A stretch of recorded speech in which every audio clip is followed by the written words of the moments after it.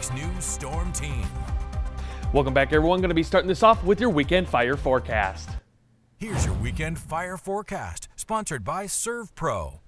So starting this off like normal on our fire danger index, you have that good rating to the east, this moderate rating to the central and northern portions of the state, but we also have a high rating that's been building uh, just because of dry conditions out there into that sort of western half of the state. Winds a little bit heavier there too as of right now, so uh, just be careful. We obviously had that fire in Oliver County yesterday that broke out at a combine uh, lighting a field on fire, and that brought smoke into the Bismarck Mandan area. So we obviously don't want that again. Be careful if you're taking any vehicle into that sort of tall brush. It can catch on fire, especially in those areas out to the west. It could spread easier there, but we don't have any uh, advisories for that. Your weekend bonfire forecast, that's got us in the 60s for this evening. Clear skies, calming winds, just that south wind 5 to 15 miles per hour. Then Saturday, 60s, clear skies, some 50s thrown in there as we get through Saturday evening. We'll eventually drop into the, about the 40s for both nights for Friday and Saturday, getting into the next morning. We take a look at our KX cam overlooking Bismarck right now. We see clear skies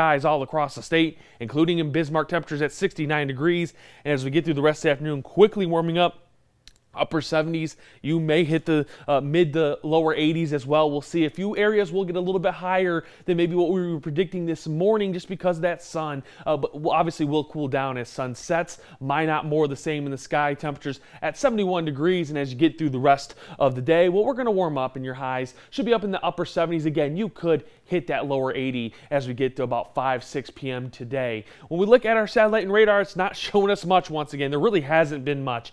There might be some light stuff out there. We're not going to count that out for the next couple of days, but you're going to see more blue than you do see those clouds over the next really maybe two days before we get to Monday and cloud cover does roll back in.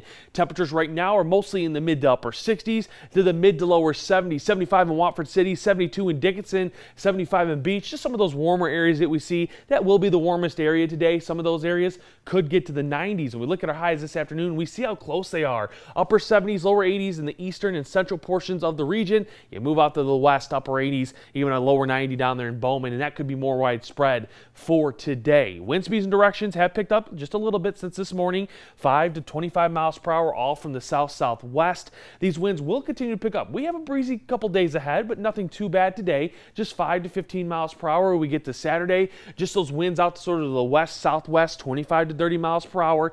It's going to be Sunday and Monday. Those are the windy days. A low pressure system is going to sweep through Canada, maybe reaches us here in North Dakota. It picks up our winds Sunday, a little 35 to 40 miles per hour, maybe some areas up to 45. And then Monday, the whole state is looking at that 45 to 50. So could see some wind advisories Monday. We're going to be very close to that sort of advisory level of winds not much to see on Precision Cast. Dry skies all through the day, tomorrow into Sunday. Our next rain chance, that's going to be Monday with that low pressure system. And it looks to just stay up there in the northern half of the state. Very light if anything does form. Oh, skip that for now. Your Williston five day forecast has got us in the 80s today, tomorrow and 90 on Sunday, 50s and 60s for the new week. Dickinson, 80s up to the 90s, 60s for the new week. Your Minot seven day forecast, well, that's showing us 80s up to the 60s or up to the 90s, possibly Sunday, 60s 60s for next week.